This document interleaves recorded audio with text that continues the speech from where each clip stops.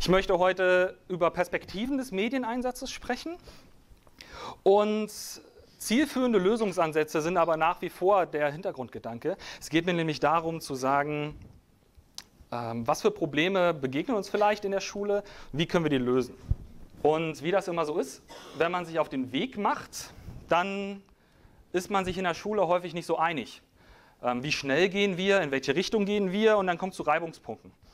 Und ich habe mal ein paar dieser Reibungspunkte mitgebracht.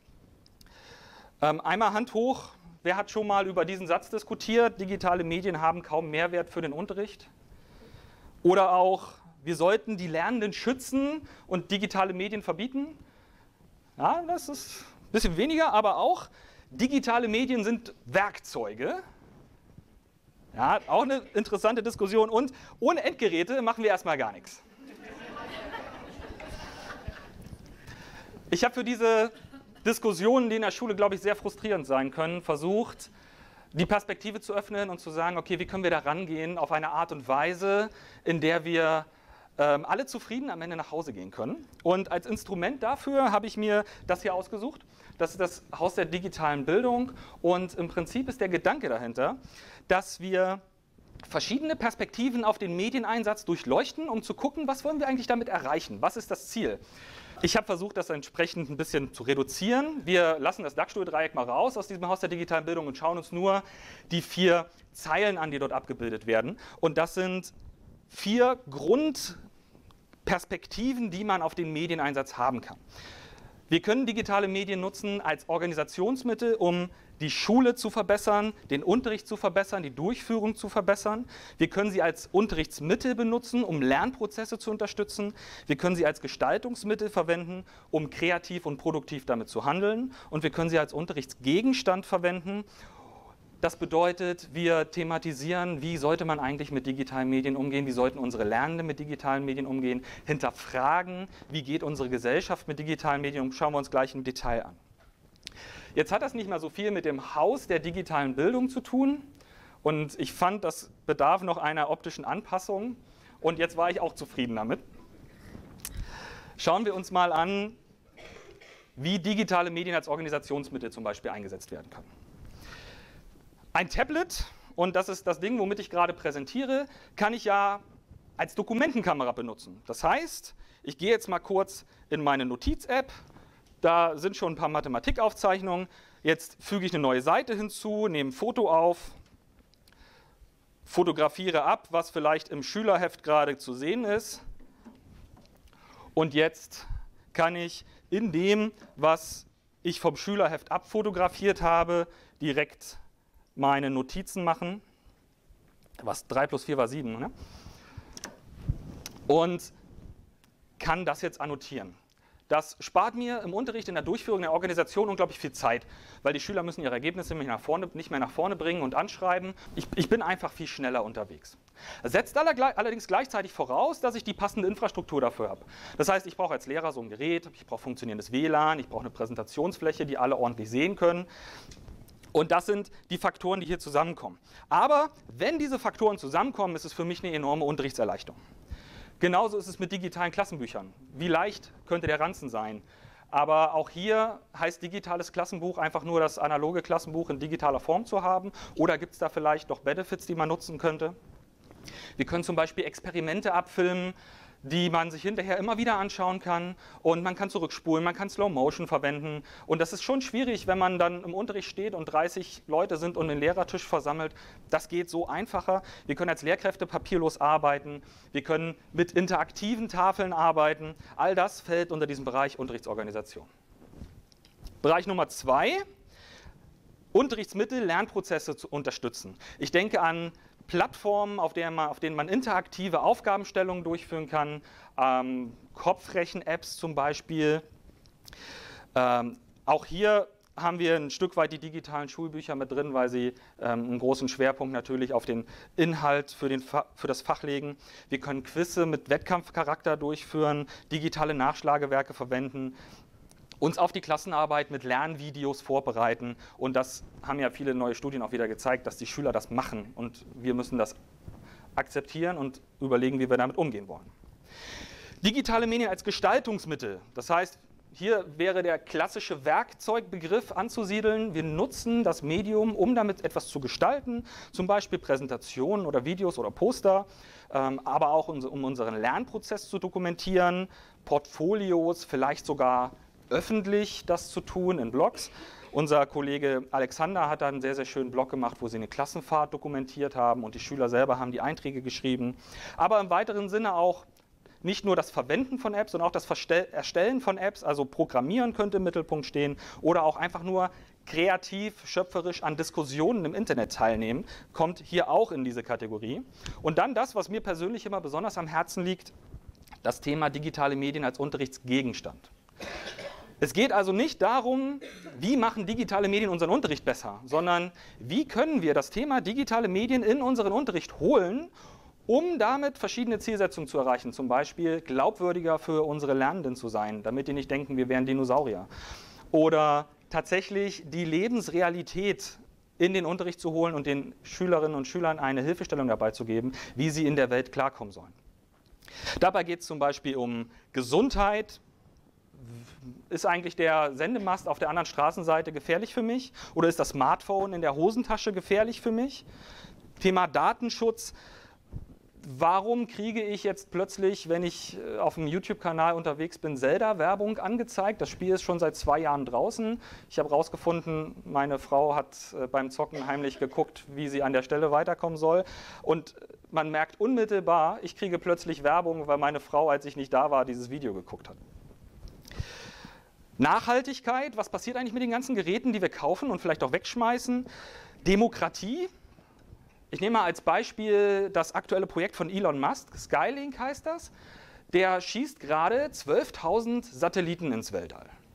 Und damit macht er superschnelles Internet für alle. Das aber auf Kosten der Tatsache, dass wir 12.000 Satelliten im Internet, äh, im, Internet, im äh, Weltraum haben, die man von hier aus auch sehen kann. Das ist quasi Windräder nur noch eine Stufe höher. Momentan zum Vergleich haben wir 2000 Satelliten im Weltall. Und das ist eine Frage der, der Demokratie eigentlich. Wollen wir das? Wollen wir, dass der ganze Himmel eigentlich nur noch von Satelliten beflutet ist und dafür schnelles Internet? Wollen wir diese Entscheidung in Kauf nehmen? Und ich glaube, wir müssen über solche Fragen reden, wenn wir hinterher demokratiefähige Schülerinnen und Schüler haben wollen. Natürlich Werbung und Propaganda. Warum habe ich jetzt das neue Shampoo von meinem Lieblings-YouTube-Star gekauft und kein anderes? Und warum hält da jemand schon wieder die Cola-Dose dieser besonderen Marke ins Bild? Mag der die Cola so gerne oder steckt da vielleicht was anderes dahinter? Und auch Funktionsweise von Computern. Was ist eigentlich ein Algorithmus? Und das ist gar nicht so schwer. Die Frage ist, auf welcher Ebene muss man sowas in der Grundschule behandeln? Wenn wir über Algorithmen reden, dann denkt man immer gleich, ja, Handlungsanweisungen, also Schritt für Schritt führe ich etwas aus und dann kommen gleich die Informatiker und sagen, ja, aber es sind ganz besondere Handlungsanweisungen, die müssen endlich und determiniert und bla bla bla sein. Vielleicht ist das nicht der Ansatz für die Grundschule, vielleicht geht es um intuitives Begriffsverständnis, Verstehen von Computern, Verstehen von Algorithmen. Man stellt sich einen Algorithmus zum Beispiel wie ein Kochrezept vor. Und ich muss mit Computern eigentlich in Kochrezepten reden, damit die mich verstehen. Ganz klare Anweisungen. Ich kann nicht sagen, das weiße Pulver, weil man sonst nicht weiß, meint der Zucker, Salz oder Mehl. Und das heißt, an dieser Stelle können wir auch in der Grundschule schon thematisieren, wie Computer funktionieren. Und auch die Frage, was ist eigentlich das Internet? Ist es eine Wolke? Ähm, ist, sind Siri und Alexa vielleicht irgendwann so schlau, dass ich mich mit ihnen unterhalten kann wie mit meinen besten Freunden? Und das sind, glaube ich, Fragen, die unsere Grundschüler auch schon haben und die wir im Unterricht thematisieren können. Für mich ist Medienkompetenz da immer ein ganz zentraler Punkt und man merkt ein bisschen raus, richtig um Medienkompetenz geht es eigentlich nur in den unteren beiden Punkten. Oben links haben wir eher das Thema Unterrichtsorganisation. Da geht es nicht darum, dass die Schüler medienkompetent werden, es geht darum, dass der Unterricht effizienter wird. Oben rechts haben wir eine didaktische Zielsetzung, eine fachdidaktische Zielsetzung, in dem Sinne, dass die Schüler fachkompetenter werden sollen, indem sie digitale Medien verwenden. Und unten bei den beiden Bereichen geht es dann tatsächlich darum, wie gehe ich sinnvoll und zielführend mit Medien um. Okay, ich habe am Anfang diese vier verschiedenen Diskussionsansätze in den Raum gestellt. Und mithilfe dieser vier Bereiche möchte ich darauf jetzt eingehen. Digitale Medien haben kaum Mehrwert für den Unterricht. Das sagt man nicht ohne Grund, sondern weil man sich da intensiv Gedanken drüber gemacht hat und hat äh, zum Beispiel die Feststellung gemacht, ich habe eine interaktive Tafel hier vorne und mit der kann ich jetzt wie mit meiner alten Tafel früher meine Aufgaben dran schreiben. Aber die interaktive Tafel, jetzt ist, die ist strombetrieben und wenn der Strom weg ist, funktioniert die ganze Tafel nicht und dann ist sie problemanfällig, ich muss mich in die Software einarbeiten und es ist eigentlich total nervtötend. Vor allem dann, wenn ich damit hinterher nur das Gleiche mache, was ich vorher sowieso auch schon gemacht habe. Und aus dieser Perspektive muss man sagen, ja, da ist für mich jetzt noch kein Mehrwert erkennbar. Und dann muss man auch fragen, ist das der richtige Weg? Brauche ich eine relativ teure interaktive Tafel, wenn ich vielleicht für ein Drittel des Preises auch eine Kombination haben könnte mit einem Lehrerendgerät und einem Beamer und kann das Gleiche machen, ohne mich rumdrehen zu müssen, sondern kann meine Annotationen machen, während ich auf meine Schüler auch dabei im Blick habe? Aber hier steckt auch das Problem im Detail. Die Mehrwertdiskussion fokussiert sich fast ausschließlich auf diesen Organisationsbereich. Wir reden fast immer nur über Technik. Dieses Gerät, welchen Mehrwert hat das für meinen Unterricht? Und wenn wir auf dieser Frage stehen bleiben, dann wird diese Mehrwertdiskussion nie enden, weil es immer wieder neue Geräte gibt, die nur Spielerei sind und immer wieder neue Geräte gibt, die uns tatsächlich helfen können. Die Frage, die wir uns stellen sollten, ist eigentlich in den anderen drei Bereichen. Wo kommt analoges Lernen an seine Grenzen? Wir hatten da neulich eine schöne Diskussion im Geometrieunterricht. Also mit einer Geometrieprofessorin, die gesagt hat, ähm, wenn ich etwas ausrechne, dann kann ich Schritt für Schritt sichtbar machen, Zeile für Zeile, wie die Rechnung verläuft. Wenn ich das allerdings in der Geometrie mache und zeichne ein Dreieck, dann habe ich nur am Ende das fertige Dreieck. Und das ist ein Problem. Hier können digitale Medien helfen, den Prozess, wie das Dreieck entsteht, sichtbar zu machen, indem ich zum Beispiel filme, wie ich es zeichne. Und das ist dann wieder einerseits eine Unterstützung für die Lernenden, damit sie diesen Prozess besser sehen können, andererseits eine Unterstützung für die Lehrkraft, die hinterher nachvollziehen kann, wie hat dieser Prozess ausgesehen und wo war der, der Punkt, an dem die Lernenden an die Schwierigkeit gestoßen sind. Aber auch ganz, ganz zentral im Bereich des Unterrichtsgegenstandes. Wir müssen darüber reden, wie die Welt funktioniert, wie das Internet funktioniert. Und wenn der Mehrwert immer nur auf der Frage nach technischen Geräten beantwortet und auch die Frage dort nur gestellt wird, kommen wir nicht zu dem Punkt, wo wir sagen, der größte Mehrwert ist der, dass wir unsere, unsere Schüler auf das Leben und Arbeiten in dieser Welt vorbereiten müssen. Und das funktioniert nur, wenn wir anerkennen, dass digitale Medien zentraler Bestandteil unserer Lebenswelt sind. Wir müssen über Medien lernen. Das ist der Mehrwert.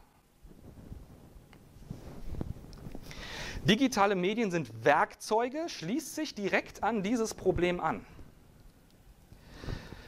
Wenn wir digitale Medien als Werkzeug betrachten, sind wir im organisatorischen Bereich, weil wir Lehrkräfte digitale Medien als Werkzeug nutzen, um unseren Unterricht zu gestalten.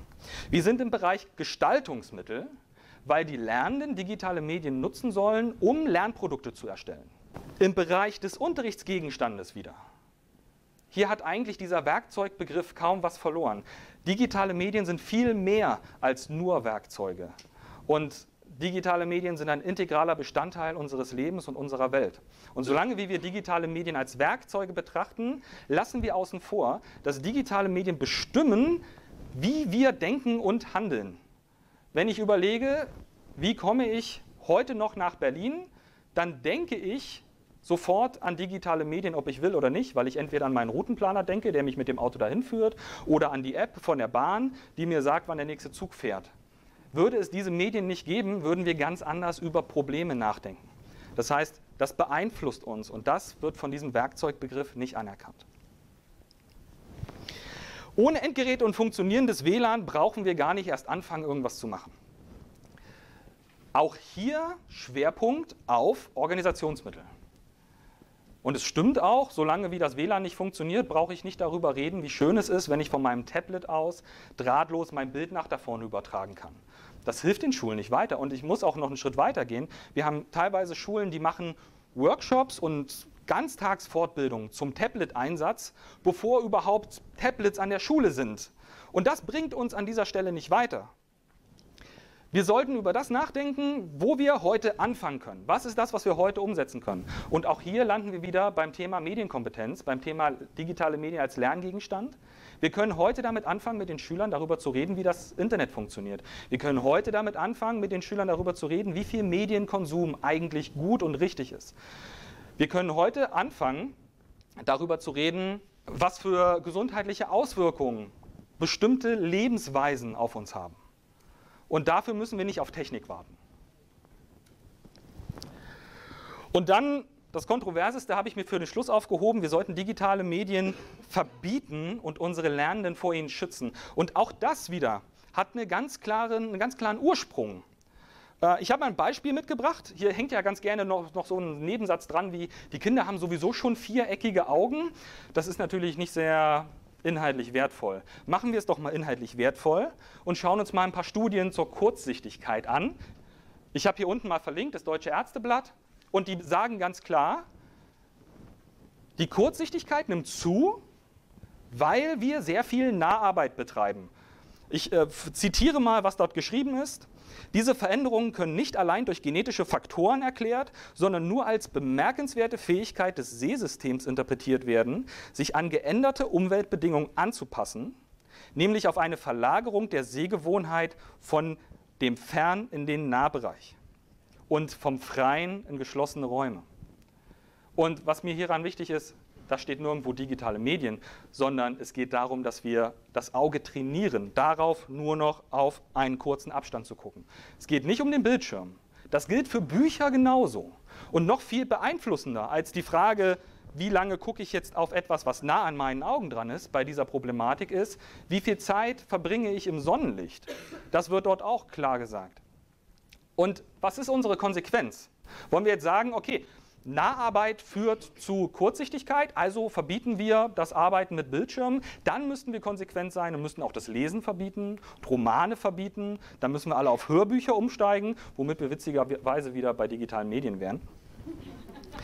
Und wie gehen wir damit um?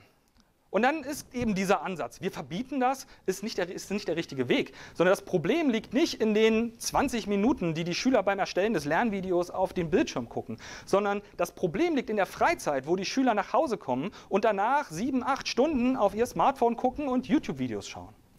Und wir müssen hier eine Veränderung bewirken, indem wir sie aufklären, indem wir darüber reden, welche Folgen das haben kann und indem wir sie dafür sensibilisieren, dass die Augen nicht nur auf Naharbeit trainiert werden dürfen, weil sie sich irgendwann daran gewöhnen und nichts anderes mehr können, sondern wir müssen mit ihnen darüber reden, dass sie rausgehen müssen, ihre Augen Sonnenlicht aussetzen müssen und auch die Augen dafür trainieren sollten, in die Ferne zu schauen, damit sie, wenn sie alt werden, auch noch in die Ferne schauen können. Und das funktioniert nicht, indem ich das Thema verbiete, das funktioniert nur, indem ich es in meinen Unterricht aktiv reinhole und drüber rede. Und wenn man das ganz genau betrachtet, ist eigentlich in der Grundschule genau der richtige Zeitpunkt dafür, wenn nicht vielleicht sogar schon zu spät, denn diese Lebensgewohnheiten liegen nicht in der ähm, Art und Weise, was wir den Schülern in der Schule beibringen, sondern das ist doch längst passiert, wenn die von zu Hause in die Schule kommen. Also müssen wir hier intervenieren. Das ist nicht die Ursache, liegt nicht in der Schule, sondern eigentlich eher im Freizeitverhalten. Welche Konsequenzen nehme ich jetzt als Schule dafür mit? Wir müssen alle Perspektiven, alle vier, in den Blickwinkel nehmen. Und jede dieser vier Perspektiven hat ihre Berechtigung. Wir müssen über jede dieser vier Perspektiven reden und sie in irgendeiner Art und Weise in unseren, Unterricht integrieren. Oder, wenn es noch nicht geht, weil wir auf die Ausstattung warten und die ist noch nicht da, dann warten wir an dieser Stelle. Vergessen aber nicht, dass es noch andere Perspektiven gibt, an denen wir heute schon arbeiten können. Es muss nicht jeder in jedem Thema Experte sein. Wir müssen nicht alle Experte in dem Thema Strahlung von Smartphones werden. Und so viel gibt es da eigentlich auch gar nicht zu wissen. Aber worauf ich hinaus möchte, ist, wir müssen damit nicht alleine bleiben, sondern wenn wir uns austauschen und zusammenarbeiten und uns gegenseitig unterstützen dabei, auch mit externen Partnern zusammenarbeiten, die fachliche Expertise ins Gespräch mit reinbringen, dann hilft das viel. Gerade in so Diskussionen, wo man immer das Gefühl hat, meine Meinung ist, das ist schädlich, meine Meinung ist, das ist nicht schädlich, wir diskutieren uns jetzt zu Tode, müssen wir eigentlich mal fachkompetentes Personal in diese Diskussion reinholen und sagen, okay, wir beenden diese Diskussion an dieser Stelle mit jemandem, der Ahnung davon hat. Wir müssen raus aus unserer Komfortzone, denn es geht nicht immer nur um Leute, die ähm, nicht wissen oder ja, nicht wissen, wie sie damit umgehen sollen, aber etwas machen wollen. Es gibt manchmal auch die Personen, die einfach nur keine Lust haben, sich zu bewegen. Aber ich glaube, so ein bisschen von dieser Person steckt in jedem von uns. Und wir müssen die verschiedenen Standpunkte an dieser Stelle ernst nehmen. Das heißt, derjenige, der sagt, hey, das ist gefährlich, hat ja nicht Unrecht, ein Stück weit. Aber derjenige, der sagt, das ist alles super, wir machen das jetzt einfach, wir können eh nichts daran ändern, der hat genauso wenig oder genauso viel Recht. Eigentlich müssen die beiden sich in der Mitte treffen und zusammenarbeiten. Und wenn die beiden sich gegenseitig ernst nehmen, kann da richtig guter Unterricht draus werden.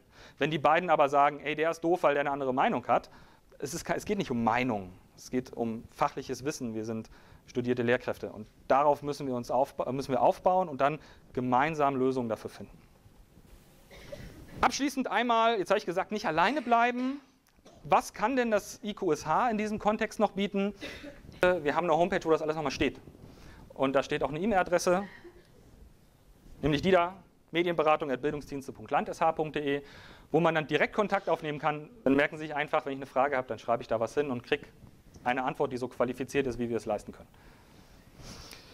Ja, Dankeschön.